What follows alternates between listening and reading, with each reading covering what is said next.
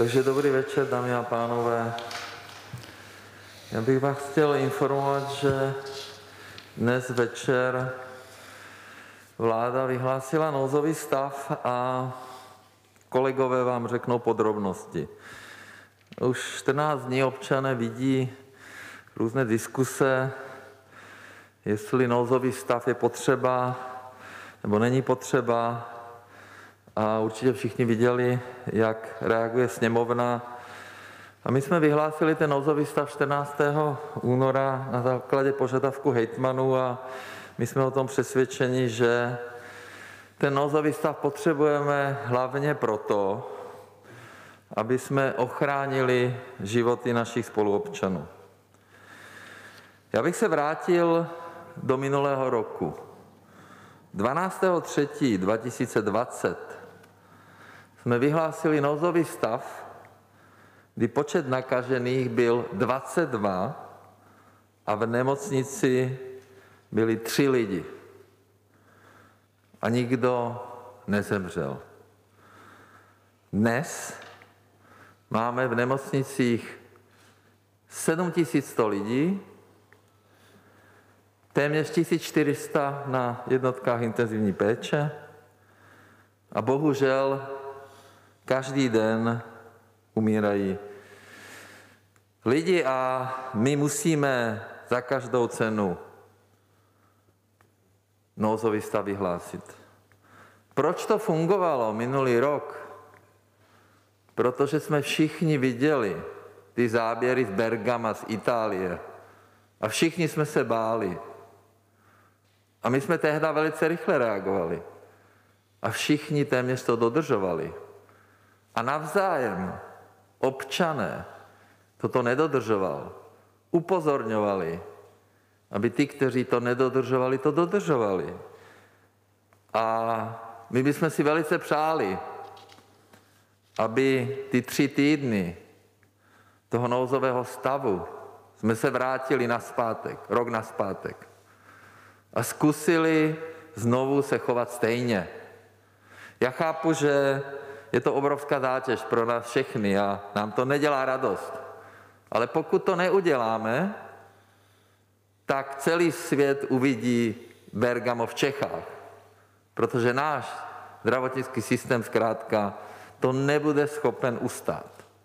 Proto vás prosím a žádám, a chápu, že naše vláda v minulosti nadělala plno chyb a e, jsme si toho vědomi, ale zkrátka bychom chtěli, abyste ještě jednou nám dali šanci, aby jsme společně se snažili v rámci tohoto nouzového stavu ty tři týdny vydržet a zastavit ten vír a vrátit se postupně do normálu. My děláme maximum pro to, aby jsme očkovali. Všude na světě scháníme vakcíny, scháníme léky. A můžu říct za všechny kolegy ve vládě, že od minulého roku, od února, neustále pracujeme na tom, aby jsme ochránili životy našich spoluobčanů. A i když ne všechno jsme zvládli, ale vždycky jsme to dělali s plným nasazením a v dobré víře, a já myslím, že za všechny můžu říct, že máme svědomí čisté.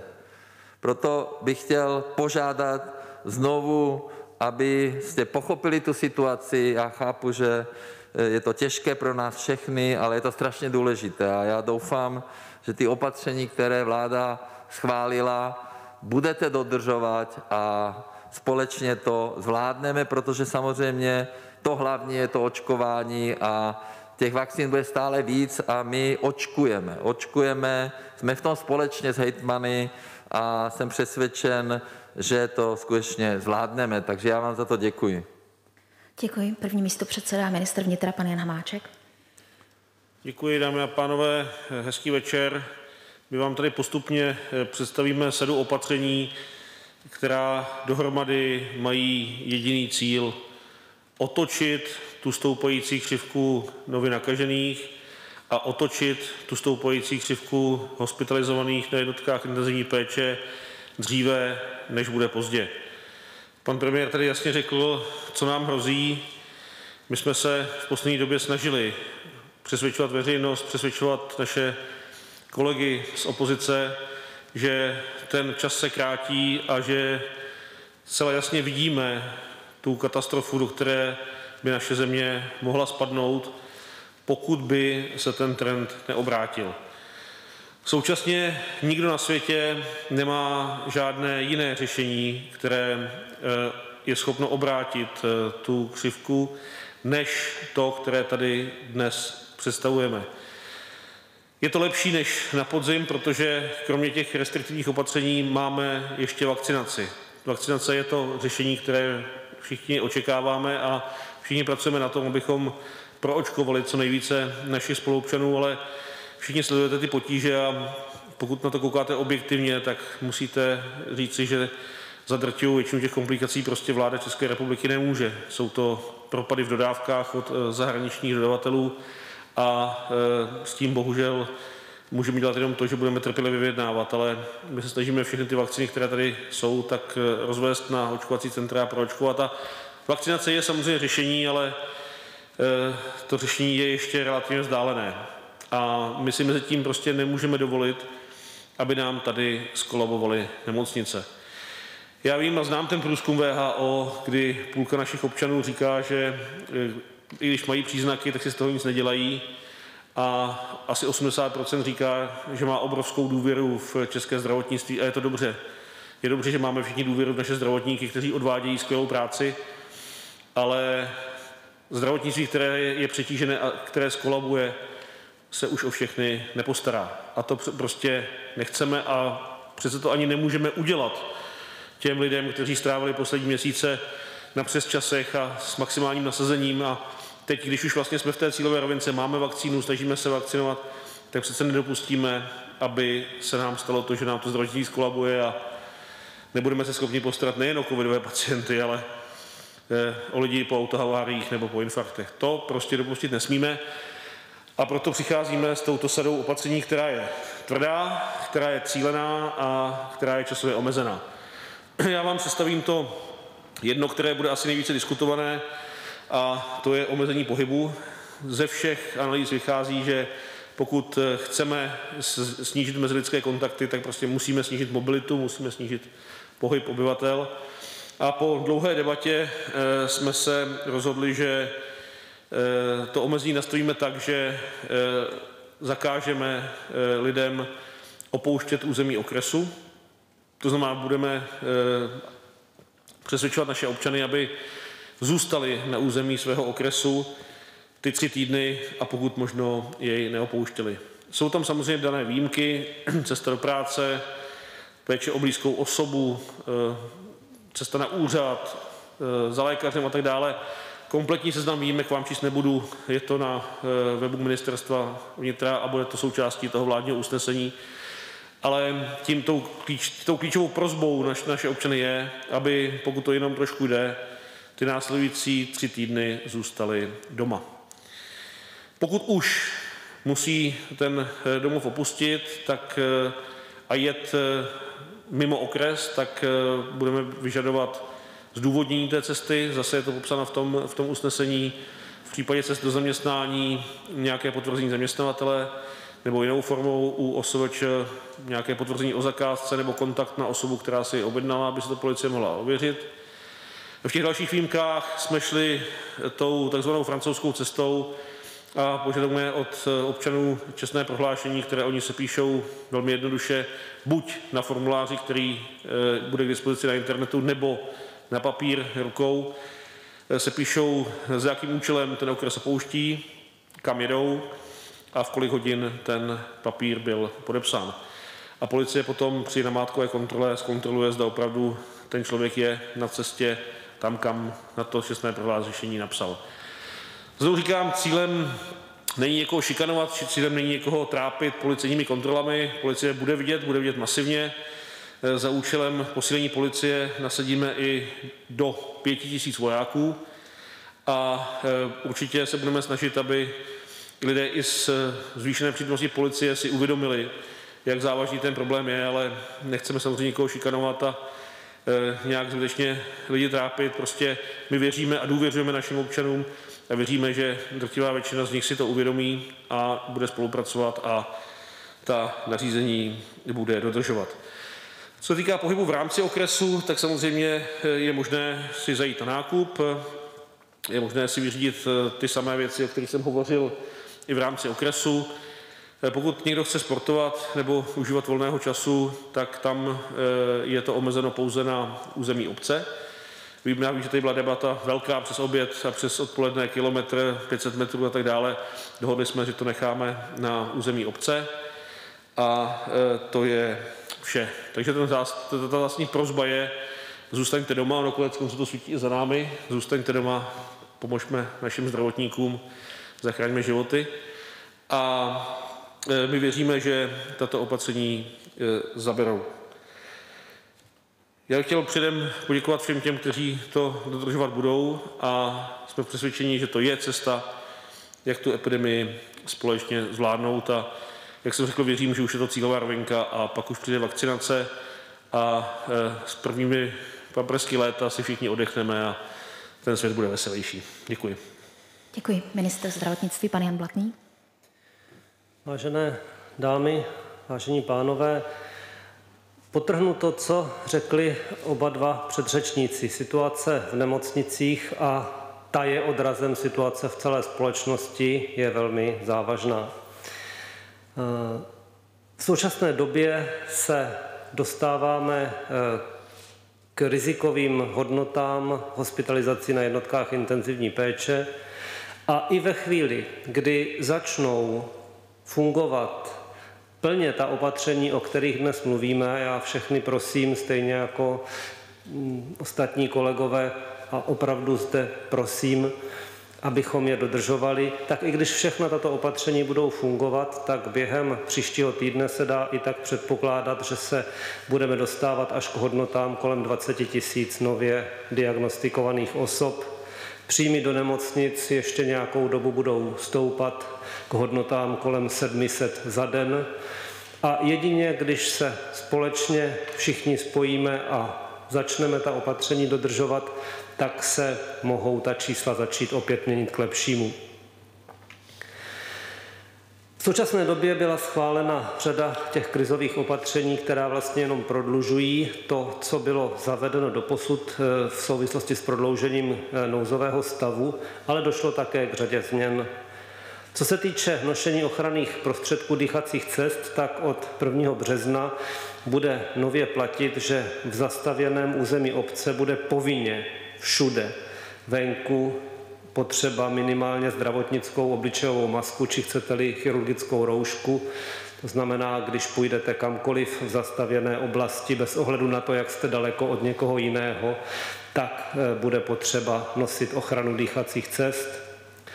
Na veřejně přístupných místech mimo zastavěné obce tato povinnost bude platit pouze, pokud tam budou alespoň dvě osoby na vzdálenost menší než dvou metrů. Jinými slovy, když půjdete do lesa, budete tam sami nebo jenom se svými příbuznými, tak to nebude potřeba nosit. Končí také ke stejnému datu možnost v prodejnách, provozovnách a MHD a dalších dopravách veřejných používat na místo respirátoru dvě roušky. Bude povinný v těchto výjmenovaných místech respirátor, jak jsme už avizovali. Bude tedy nutné mít nasazený respirátor třídí jméne FFP2 nebo obdobně účinný ochranný prostředek. Týká se to osob starších 15 let, protože pro děti, pro malé děti respirátory nejsou.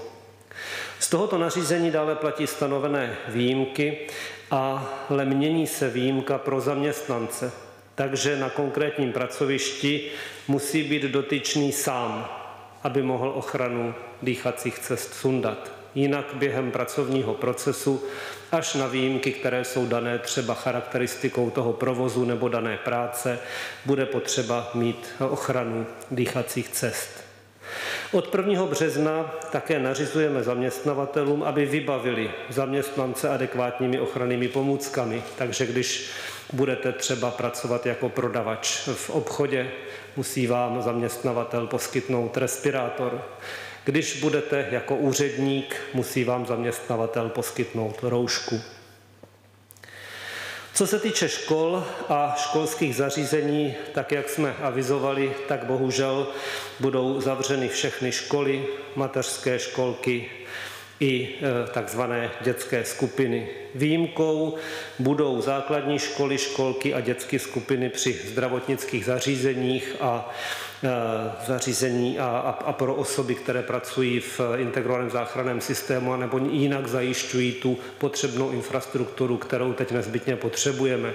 Zase, když to přeložím do běžné řeči, tak třeba pro sestřičky eh, budou i ty dětské skupiny, i školky, i školy pro děti do deseti let eh, zajištěny. Všichni ostatní děti všech ostatních rodičů, ale do škol, školek a dětských skupin nyní bohužel nebudou moci chodit. Myslím si, že během nebo kromě tady této, eh, těchto restriktivních opatření, která opravdu, jakkoliv je mi to líto, jsou nyní nutná, abychom byli schopni společně tu situaci zvládnout, tak samozřejmě dále pracujeme na zajištění kapacit eh, našich zdravotních systémů tak, aby i přes ten předpokládaný nárůst, který ale nesmí být nadlimitní, a to je ten důvod, proč se ta opatření nyní realizují, se snažíme alespoň tam, kde je to ještě možné, navýšit kapacity nemocnic, maximalizovat využití personálu a zajistit náhradní personál tam, kde to bude možné. Také jsme aktivovali eh, možnost eh, zahraniční pomoci, o čemž jsem už informoval v případě, že to bude potřeba, abychom po ní mohli sáhnout a jak bylo už několikrát řečeno, budeme nadále očkovat. A dobrou zprávou je, že v těch budoucích měsících budou dodávky vakcín postupně dále stoupat. Děkuji vám. Pan vicepremiér Havlíček. Dobrý den. Dovolte, abych vás seznámil s některými opatřeními v rámci maloobchodu a služeb. Předtím je ale ještě třeba říct, že se restrikce netýkají Eh, firm eh, v oblasti průmyslu nebo podniků, které nemají vlastní maloobchodní provozovnu. Na druhou stranu je třeba říct, že tyto firmy nebo tento typ eh, společností, firm, podniků, ale i živnostníků zapojujeme, a to od pondělí, do jednoho z největších projektů v rámci naší pandemie, a to je plošné testování zaměstnanců. Už včera po tiskové, eh, respektive po vládě na tiskové konferenci jsem představil to, že od pondělí najíždíme na dobrovolné bázi eh, kompenzaci a proplácení eh, testů pro zaměstnance a to na úrovni čtyři testy pro zaměstnance za měsíc. Jsou to takzvané samotesty. Během několika dní předpokládáme, že postupně přejdeme na systém, kdy tyto testy budou povinné. Povinné budou v momentě, kdy zde bude dostatek těchto testů a kdy budeme mít jistotu toho, že to můžeme i na té právní úrovni eh, firmám eh, dát jakožto povinnost. Eh, velmi intenzivně na tom pracujeme, vznikl na to speciální tým, vznikají hotlinky, v průběhu víkendu už budou fungovat, budou dělat poradenství pro firmy a budou jim ukazovat model, jakým způsobem je nejlepší a ideální samotesty nakupovat, jakým způsobem je aplikovat, jakým způsobem je vykazovat a budou jakýmsi průvodcem s cílem eh, získat zde řádově desetitisíce testovacích míst. Je to opravdu velká akce a eh, podstatě začala. Včerejškem jsme jednou z prvních zemí, která toto bude aplikovat. Nicméně současně jsme museli v rámci opatření a důvodu, která zde zazněla, nebo zazněly, udělat určité další omezení pro maloobchod a pro služby. Jinými slovy, maloobchod a služby eh, jsou zavřeny s výjimkou teď eh, následujících provozoven, které sdělím. Je třeba říci, že jsme zredukovali ty výjimky oproti stavu minulému přibližně na polovinu. Velmi intenzivně jsme diskutovali každou oblast, jsme připraveni každou zdůvodnit, aby jsme i reflektovali eh, ústavní soud a eh, vše bude dostatečně jasně a důkladně vysvětleno i písemnou formou. V tuto chvíli tedy bez vysvětlení vám přečtu výjimky z malou obchodu a ze služeb. To znamená, budou moci být otevřeny prodejny potravin, pohonných hmot a podobného, paliv, prodejen hygienického zboží, kosmetiky, drogerie, lékárny a výdejny zdravotnických prostředků, krmiva a potřeby pro zvířata, stejně tak jako prodejny brýlí, kontaktních čoček a podobně. Stejně tak jako malé prodejny novin, časopisu, případně tabáku. provozovny poskytovatelů odtahu a odstraňování závod na pozemních komunikacích, provozovny umožňující vyzvednutí zboží a zásilek, které se zakoupí distančním způsobem, stejně tak osiva, sadby, zahrádkářské potřeby s ohledem na sezónu, pokladny, jízdenek a jejich prodej, květinářství, provozovny servisu a výpočetní telekomunikační techniky z důvodu, kdyby se porouchal mobilní telefon nebo třeba dětem počítač, provozovny pohřební služby, myčky automobilů, nicméně bez obsluhy, prodejny domácích potřeb, provozovny sběru surovin a kompostáren, provozovny, respektive vozidla taxislužby, stejně tak jako individuální smluvní přeprava osob a provozovny, v nich jsou realizována psychodiagnostická vyšetření, která jsou nedílnou součástí různých výběrových řízení a tak dále. Vše ostatní zůstává v režimu, který už platil. Jenom uvedu příklad. Hodně zmiňované restaurace fungují ve stejném režimu, to znamená s výdejními okénky, na tom se nemění nic.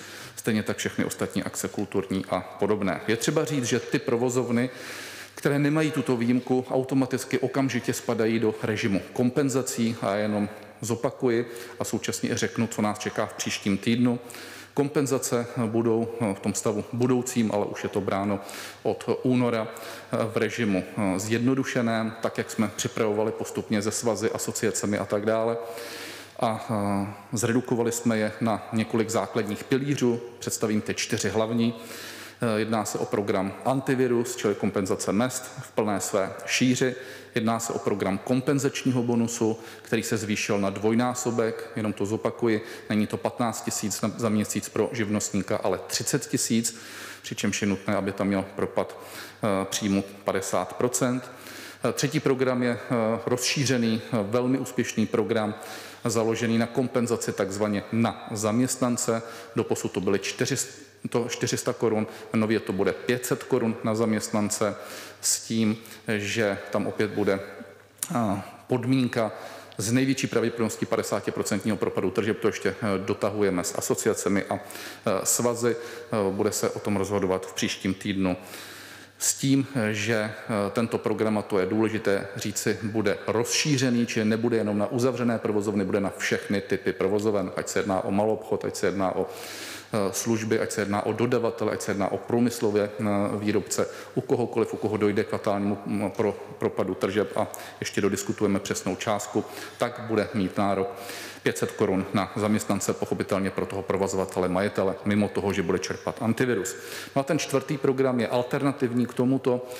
Eh, diskutujeme v tuto chvíli s eh, hospodářskou komorou zejména, eh, protože svazy, asociace a komory si vyžádali alternativu k tomu programu na hlavu.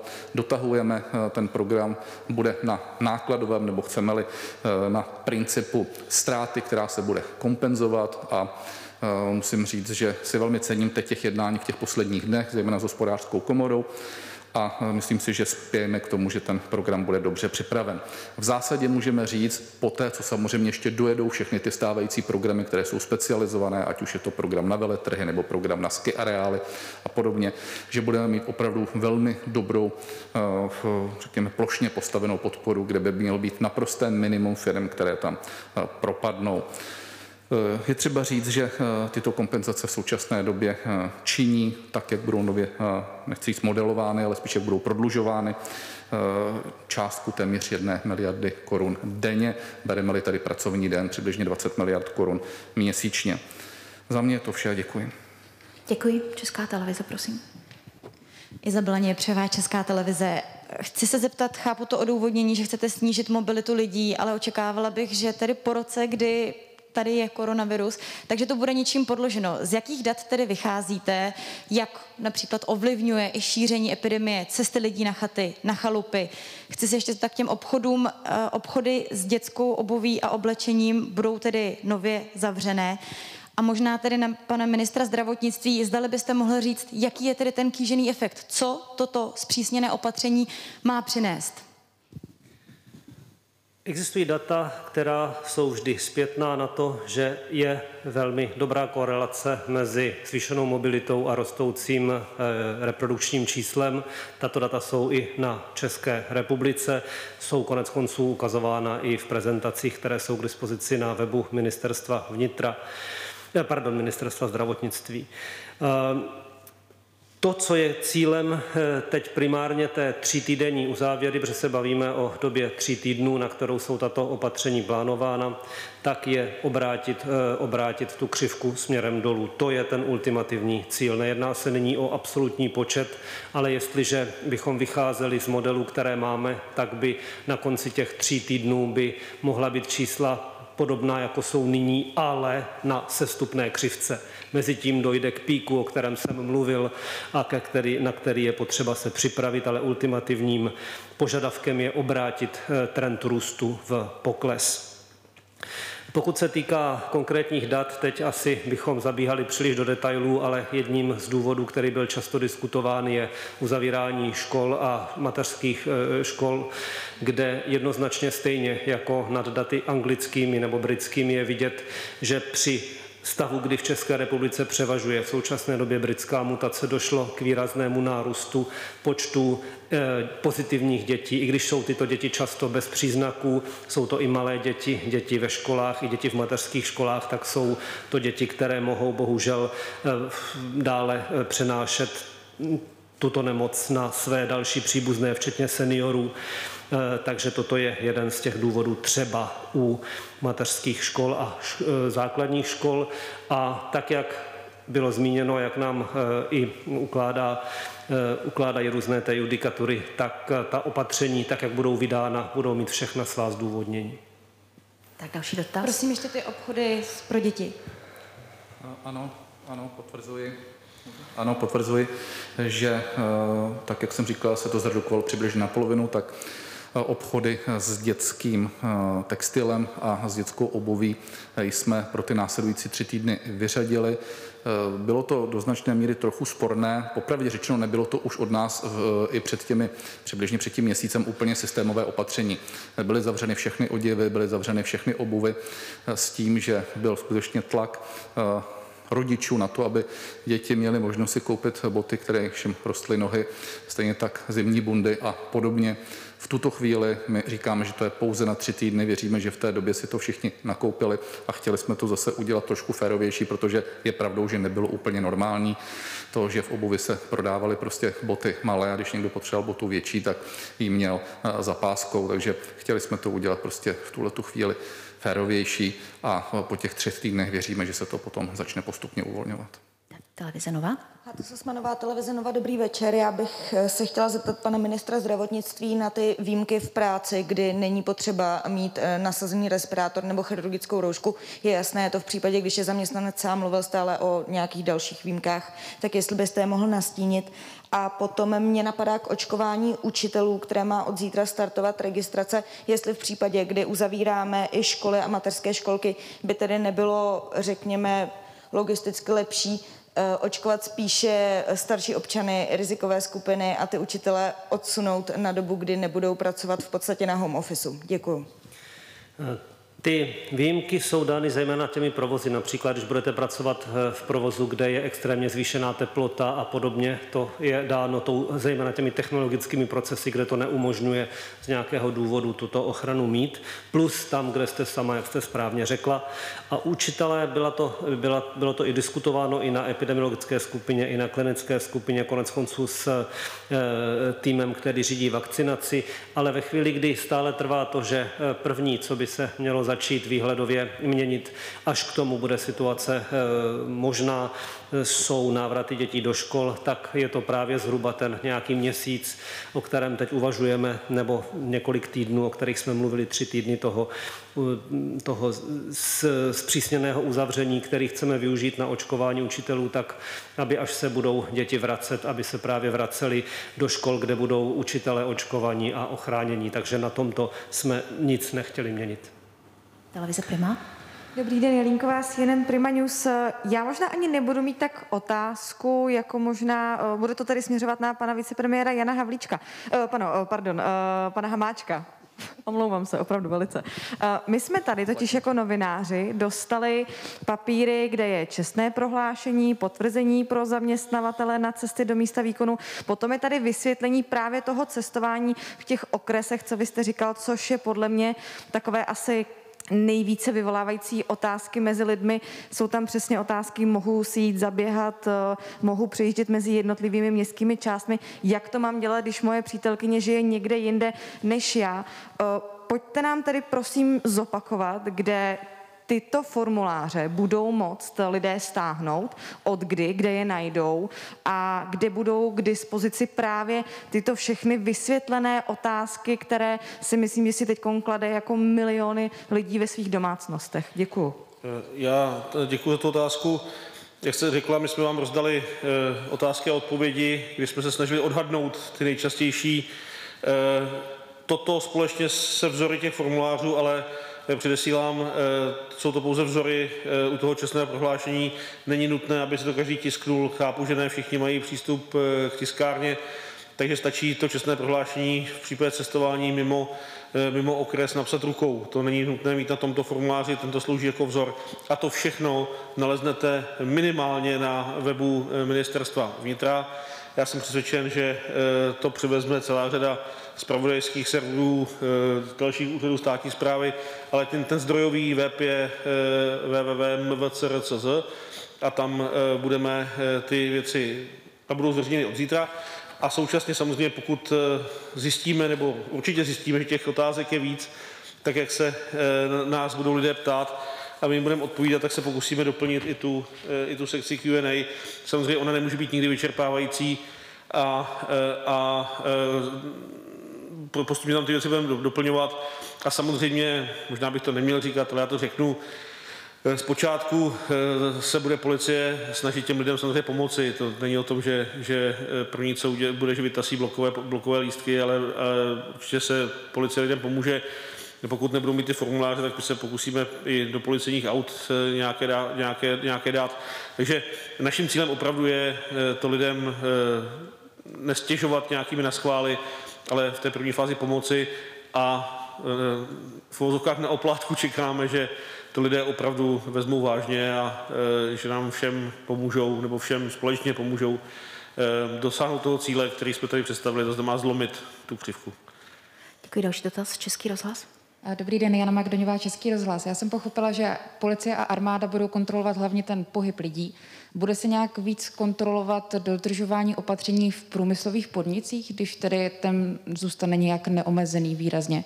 Pak bych se chtěla zeptat, jestli budete nařizovat nestátním zdravotnickým zařízením, aby taky přijímali covidové, covidové pacienty, a pak poslední věc, sněmovnou dnes neprošla takzvaná izolačka, tedy nějaký příspěvek pro lidi v karanténě a izolaci, tak co se bude s tím dít teď? Děkuji. Tak jestli můžu, eh, co se týká toho eh, průmyslu, eh, ono těch opatření na ten průmysl není úplně nejméně. Je pravda, že průmysl zůstává otevřen a my jsme přesvědčeni, že to je správně a to čistě nejenom z toho ekonomického důvodu. Myslím, že je zřejmé, že jsme vysoce exportně orientovanou ekonomikou a pokud bychom vypli průmysl třeba na měsíc, tak eh, ten nelze prostě za měsíc jenom otočení klíčku opětovně zapnout, dokonce to nelze ani jednoduše vykompenzovat, protože má nasmlouvané dlouhodobé kontrakty v zahraničí, o které by okamžitě ten průmysl eh, přišel. Okamžitě bychom byli vystřídáni dodavateli z východní Evropy, z Ázie, z Číny ale eh, i třeba ze západních zemí a v podstatě byl by to totální kolaps, který by hrozil zásadním nárůstem míry nezaměstnanosti a de facto by to ohrozilo, ale opravdu fatálním způsobem celou naší ekonomiku. Ten druhý důvod je ale ten pandemický, protože my chceme z toho průmyslu vytvořit skutečně desetitisíce testovacích míst, a už jsem zde zmiňoval to, že pojedeme v těch prvních dech na dobrovolné bázi. V momentě, kdy uvidíme, že máme logistiku pod kontrolou ve smyslu, že je tady dostatek dodavatelů, které dnes a denně Ministerstvo zdravotnictví certifikuje, eh, že zde máme zabezpečeno řádově 25 a 20 milionů testů. V tu chvíli eh, budeme vidět, že jsou schopny ty firmy si to bez problému opatřit, ať už větší, střední nebo menší firmy, tak poté eh, pojedeme na ten povinný režim. A v tu chvíli vlastně v těch podnicích vzniká jasný systém. A to systém toho, že musí testovat svoje zaměstnance, my jim k tomu dáme veškerou podporu, včetně kompenzací, ale současně to znamená, že pro tu firmu to znamená i, řekněme, určitou povinnost ve smyslu toho, pokud si neodizoluje dostatečně jasně pozitivně testované zaměstnance, tak s tím budou mít poměrně velký problém, protože ten majitel nemůže pozitivní test prostě pouze přejít, musí dohlídnout na to, že ten testovaný bude nahlášen svému obvodnímu lékaři a ten následně ho pošle na PCR test. To znamená, to je poměrně zásadní změna v těch firmách a je úplně jedno, jestli je to průmyslová firma nebo kancelářská firma. A jenom tu povinnost teda vidíte, kdyby mohla být? Ta povinnost bude přesně v momentě, kdy budeme vědět, že je zde dostatek testů. Je to úplně nová věc. Jsme jednou z prvních zemí v Evropě, která zavádí tento plošný systém a v tuto chvíli se dováží do Evropy skutečně 100 miliony testů. My máme už ty firmy kontaktované všechny, budeme zveřejňovat samozřejmě jejich kontaktní čísla, budeme zveřejňovat jejich odpovědné osoby, aby se na ně mohly firmy obracet. Celý víkend budeme pracovat na logistickém systému, máme na to definovaný speciální tým a e, podle mého odhadu by to mohlo být v řádu jednotek dnů nebo málo týdnů. Připustme, že by to mohlo být někdy třeba za 14 dní, ale musíme mít tu jistotu toho, že zde těch testů bude dostatek. A ještě nezapomeňme na jednu věc. Průmysl a podniky dostali povinně to, že jejich zaměstnanci musí nosit roušky, což taky doposud nebylo. Tak ještě, uh, tak Česká televize. Uh, Omlouvám se, ještě jeden dotaz, pokud mohu na pana premiéra. Vy jste tady říkal, že musíte znovu získat důvěru lidí, že se zkrátka staly nějaké chyby. A mě zajímá, protože René Levinský, ředitel Centra modelování biologických procesů, říkal, že oni upozorňovali od ledna na to, že ta opatření nebudou stačit na britskou mutaci. Podobně mluví i ostatní strany ve sněmovně, že zkrátka vláda neposlouchá jejich návrhy, nějaké jejich připomínky. Můžeme tedy očekávat, že v takto krizové situaci bude vláda dát dále více spolupracovat, jak s odborníky, tak i s ostatními stranami, protože jste sám řekl, že ta situace je pekelná. Tak bohužel opozice se e, tváří, že chce spolupracovat, ale když e, má podpořit ty naše aktivity, tak to nedělá.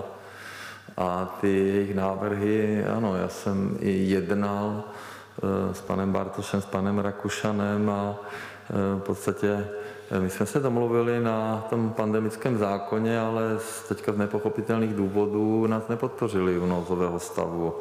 Eh, takže my samozřejmě, eh, ty návrhy musí být konkrétní. I ta výzva, teďka ty 40 nevím, jak se to jmenuje, tak eh, tam my nevím, to musí být velice konkrétní. A když se ptáme na jednání s opozicí, co teda navrhujete?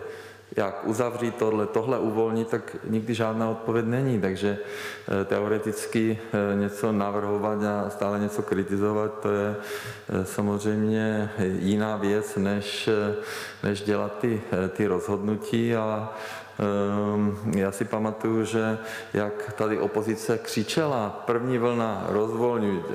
Ano, Karlu most, oslava, červen, družte roušky. Eh, proč koncem srpna a tak dále, tak já nechci se k tomu vracet. Proč jsme mi rozvolnili 3.12.? No protože opozice křičela, otevřte obchody, otevřte obchody. A byla to chyba. Ne, takže eh, ty jejich návrhy, já neznám konkrétní návrh, který jsme měli eh, udělat. Oni vždycky něco kritizují. Ano, teď nastalo nějaké zblížení, ale hlavně s hejtmany, protože s nimi společně očkujeme. A hejtmani dospěli názoru a vyzvali nás, hejtmani nás vyzvali, aby se vyhlásili nouzový stav. Oni nás vyzvali, jo? takže eh, nebo můžeme se podívat na Senát. Proč Senát nám vrátil izolačku? Proč? Proč Senát zamítl možnost pokutovat například majitele Vyšehradu nebo Šeberáku? 10 tisíc korun. Všichni se smějou. 10 tisíc korun tam vydělá za pár hodin. A jakou má kompetence? My nemůžeme dát eh, pokutu, protože se mi zdalo, že milion korun je vysoká pokuta. Pro majitele Vyšehradu například, nebo pro toho Američana, který tady dělal ty tajné party a tak dále. Takže ani Senát, ani opozice nám moc nepomáhá a jenom se tváří, mají velké deklarace a vždy po jednání jsou velké vzkazy na Twitteru, ale v realitě to tak nevypadá, takže eh, my budeme rádi spolupracovat, když to bude konkrétně a když to nebude o tom, aby někdo si tam dal nějaký tweet a vlastně jenom poukázal na to, jak jsme neschopní. Pane tak se je potřeba podívat i do celého světa, jak to funguje. Ano? A v těch vlnách, jak to bylo. A e, samozřejmě já neznám žádný, ani tady je tolik různých epidemiologů, kteří mají různé návrhy. Například profesor Bena, profesor Primula. Seděli šest let v jedné kanceláři. Seděli u mě v úřadě. Každý jiný názor, každý jiný. Takže eh, debata o lockdownu. Co je to lockdown? Kdo to definuje? Já jsem o tom mluvil s izraelským premiérem. Lockdown the people. To byl ten lockdown. Izrael nikdy nezavřel průmysl. Nikdo, nikdo na světě nezavřel průmysl, takže o tom můžeme vést debaty, ale já neznám konkrétní návrh eh, opozice eh, a my jsme vyslyšeli některé ty věci. Eh, takže ta izolačka nás mrzí, my to znovu dáme na vládu, paní Maláčová teda v pondělí a budeme se snažit samozřejmě to rychle realizovat, aby lidi se nebáli hlásit kontakty a nebáli jít do, do izolace, že přijdou peníze. Pane premiére, jenom omlouvám se, musím vás poupravit, ale poslanci dnes vysvětlili, proč nepodpořili prodloužení nouzového stavu, aby byl vyhlášen podle ústavnosti. A co se týče izolačky, tak tam chyběli, chyběl jeden hlas a zdrželi se tři poslanci zahnutí ano. Není to tak, paní redaktorko. Poslanci opozice nám neschválili nouzový stav, ano, a my následně jsme byli vyzváni hejtmany za stejné opoziční strany, aby jsme ho vyhlásili. To jsme vyhlásili a dneska nám ho znovu nepotvrdili. A naši legislativci zkrátka jsou přesvědčeni, že jsme ho vyhlásili v souladu s našimi zákony.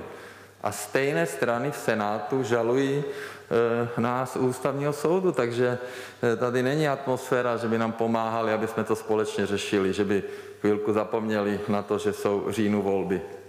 Čili nevidíte tu spolupráci ani v této době? Ale vidíme, my jsme, my jsme samozřejmě eh, s nimi debatujeme, ale eh, my jsme nedostali od nich eh, nějaké konkrétní návrhy a vůbec ty návrhy na rozvolňování, které přišly, a tak zkrátka to nebylo možné. Ještě pan ministr Hamáček chce reagovat? Já si to mohu doplnit, já tady nechci nějak přikládat pod kotel, myslím, že dneska to ve sněmovně bylo dost ale eh, já bych samozřejmě taky eh, stál o to, aby eh, ta odpověď na tu pandemii byla širší než jenom na té vládní platformě. A my jsme do jisté míry unikátní země, protože pokud se podíváme kolem sebe, tak nikde není epidemie nebo minimálně právní rámec boje proti epidemii předmětem tak tvrdého politického boje jako v České republice. Prostě ty, ty státy a ti politici uvědomují, že prostě v tomhle jsou všichni a že tam není moc prostor na boje. Jenom tady u nás se každý 14 dní hlasuje, jestli prodloužíme nouzový stav nebo ne po 16 eh, hodinách eh, diskuze, kdy na té vládě nezůstane nic suchá. Takže to je české specifikum. A já si myslím, že po tom posledním hlasování jsme se všichni tak jako podívali do propasti, jak vláda, tak opozice a hejtmani. A všichni jsme zjistili, kam spadneme, když budeme takhle pokračovat, tak tady trošku je vůle ke spolupráci. Ale k tomu nouzovému stavu, tak eh, já si pamatuju, když nás hejtmani vyzvali k vyhlášení nouzového stavu znovu, tak kolegové z opozice to malém označili za státní převrat, že si to přece vláda nemůže dovolit, že to je protiústavní, aby nás dneska k tomu samému vyznali, uzvali usnesení poslanecké sněmovny. Takže já bych stál o to, abychom si ty věci jako porovnali.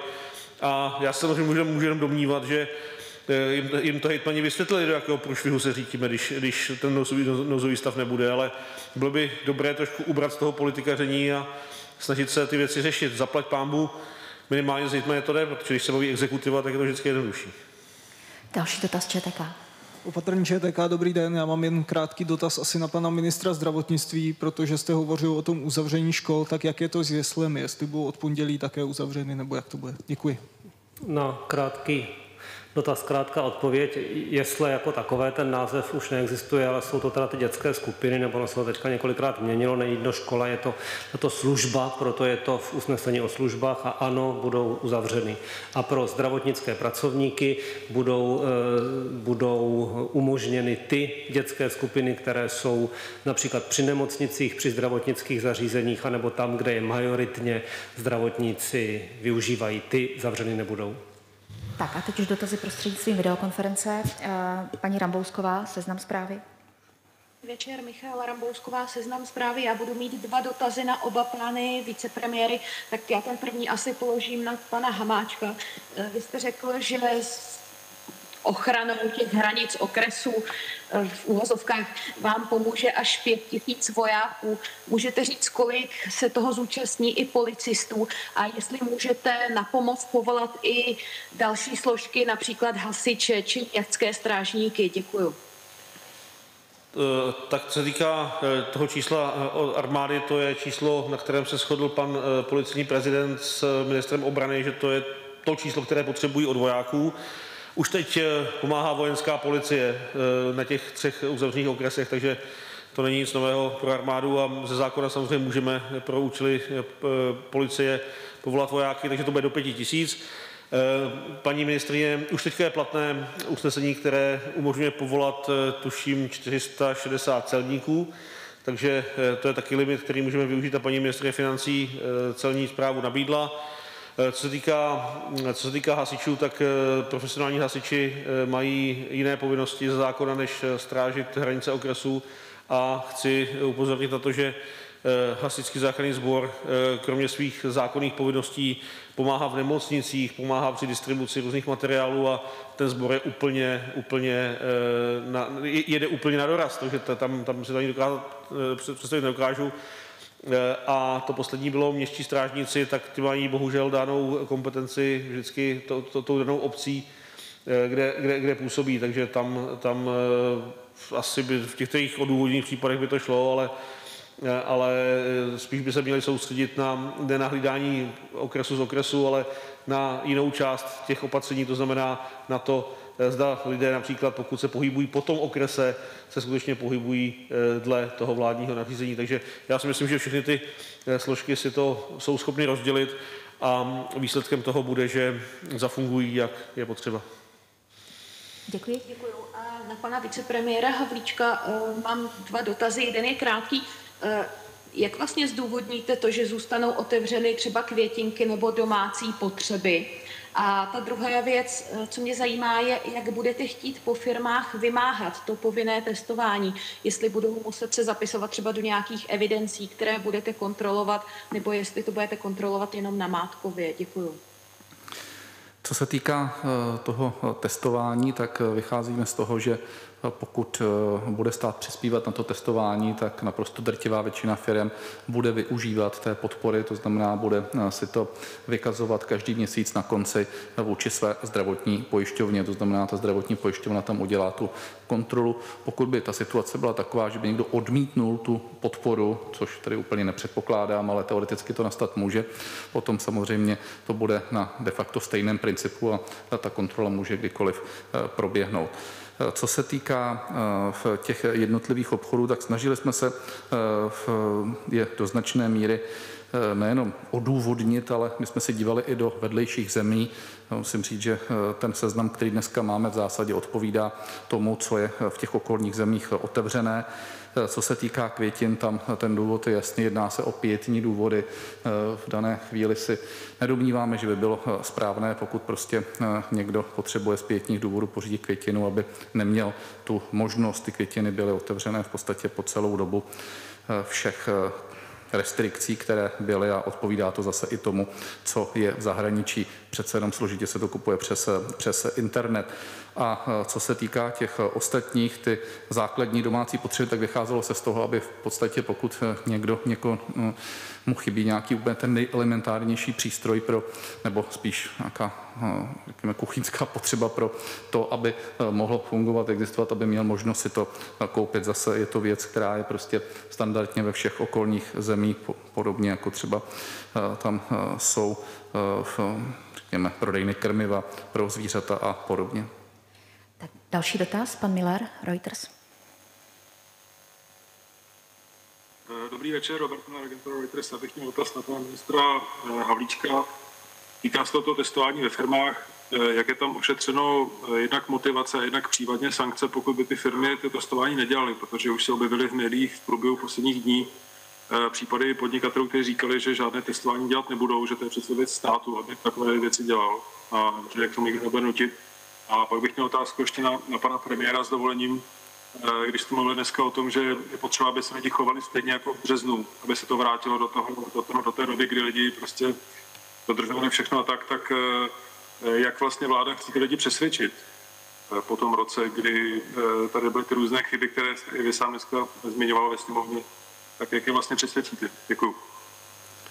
Tak co se týká testování, není solidární, pokud firma řekne, je to záležitost státu. Pokud eh, by se k tomu přistupovalo tímhle způsobem, pak by eh, mohlo nastat skutečně i to, že eh, se budou omezovat tyto provozy a my naopak chceme podpořit, aby fungoval, ale chceme tam nastavit určitý systém. Stát do toho vstupuje tím, že je připraven kompenzovat ty testy a do značné míry prostě v dobré víře prostě chce po firmách, aby i přece oni sami musí mít ten zájem, aby testovali své pracovníky. Já jsem 30 let podnikal a nedovedu si představit, že bych měl prostě několik set zaměstnanců, které by jsem si, ať už by mi stát přispěl nebo nepřispěl, prostě ty zaměstnance sám otestoval, protože bych prostě chtěl, aby mi výroba fungovala. Chtěl bych, abych měl odizolovány pozitivní pracovníky od negativních ve smyslu testování a aby jsem s tím neměl do budoucna problém. Taky proto dneska, a my to budeme zveřejňovat, existuje už celá řada firm a jsou to stovky firm, které nečekaly na žádnou státní podporu, na žádnou kompenzaci. Kupovali si byť možná neschválené testy, dnes už tedy mají eh, schválené, začaly testovat a funguje to. Stále je třeba říct, že fungují firmy, které testují na bázi toho, že je tam asistovaná spolupráce se zdravotníkem. To znamená, není to tenhle ten samotest nebo rychlotest a eh, funguje to a je to eh, ideální způsob toho, jakým způsobem si v indikovat potenciálně pozitivní, pozitivní pracovníky. Dělá to OKD, dělá to dobře. Takže eh, to eh, samo o sobě nevnímáme jako nic špatného, že to dáme i do vládního usnesení jako, jako povinné, protože tím pomáháme přece všichni sami sobě. Jak se to bude kontrolovat? Bude se to kontrolovat jednoduchým výkazem na konci měsíce, který bude zdravotní pojišťovna proplácet a na základě kterého uvidí, jak jednotliví pracovníci byli eh, testováni. Přece děláme to sami pro sebe, děláme to pro naše okolí. Ještě pan premiér. Za mě, no musíme přesvědčit, že tady máme novou situaci. My tady máme britskou mutaci, jihoafrickou mutaci, ten vír neustále mutuje, je agresivní. Na jípkách končí lidi všech věkových kategorií, takže to není o starších lidech jak minulý rok a o stavu na jednotkách intenzivní péče a že zkrátka je dobře a bylo by dobré, vidím, že Česká televize začala vysílat reportáže přímo z těch eh, nemocnic, z těch eh, covidových eh, jípek, takže protože pravděpodobně někteří stále tomu nevěří a končí v nemocnicích v těžkém stavu zdraví, zdraví lidé. Takže ano, je jasné, že může být kritika, můžeme se podívat, jak to bylo jinde v Evropě, jaké byly ty cykly, Eh, uvidíme, jak to dopadne u nás, jak to dopadne jinde. Ano, momentálně patříme mezi nejhorší, eh, ale mm, zkrátka je to celoevropský problém a my zkrátka nemáme jinou šanci, než eh, udělat tohle opatření, protože jinak, znovu opakuji, bude kolaps, kolaps českého zdravotnictví. Minister Blatný.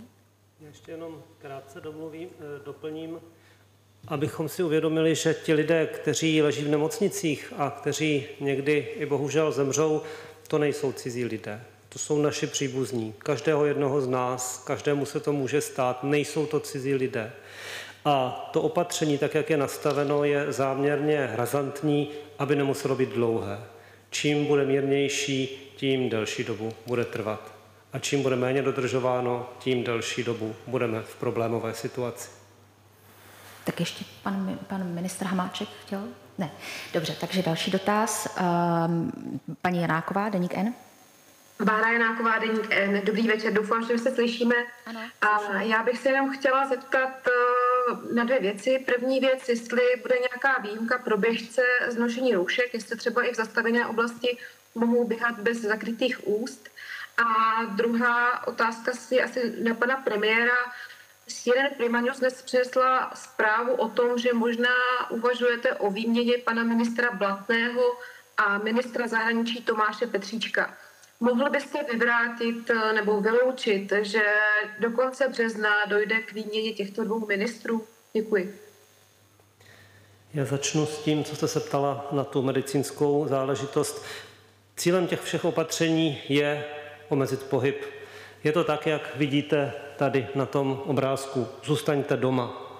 Eh, z tohoto důvodu je žádoucí, aby všechny ostatní aktivity byly minimalizovány, jakkoliv Je to nepříjemné, jakkoliv je to složité, ale je to na krátkou dobu. A je toto i jeden z důvodů, proč tam žádné další výjimky pro eh, žádné eh, jiné aktivity nebo specifické aktivity nejsou. Za mě můžu vyvrátit, že do konce března dojde k výměně ministrů. Děkuji. A poslední, eh, pan Kopecký i dnes.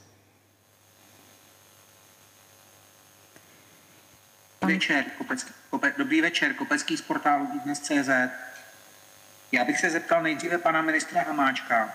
Eh, samozřejmě eh, bude hodně záležet na benevolenci těch lidí, kteří budou kontrolovat, těch policistů a těch vojáků.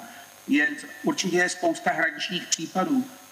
Dovedu si představit, že jsou lidé, kteří bydlí na hranicích třeba Prahy a středních Čech a mají to blíž na nákup někam do Prahy, než ve svém nejenom okrese, ale i kraji umožní jim, umožní jim podle vás eh, policisté a hasiči si nakoupit tam, kde to mají blízko?